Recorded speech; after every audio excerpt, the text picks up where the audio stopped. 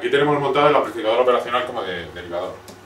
Tenemos la alimentación positiva y negativa conectada a sus terminales, la entrada y los terminales positivos y negativos de, entrada y vamos a conectar las sondas, una a la entrada, otra a la salida del amplificador. Seleccionamos en el canal 2 la salida y en el canal 1 lo llevamos a la entrada del generador de funciones.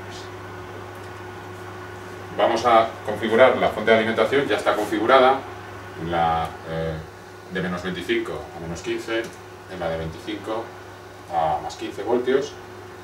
El generador de funciones está configurado como una onda seroidal, su tensión 2 voltios pico pico y a una frecuencia de 1 kHz. Vamos a ver en el osciloscopio las salidas que nos va a ofrecer el, el circuito en las ondas donde las hemos seleccionado.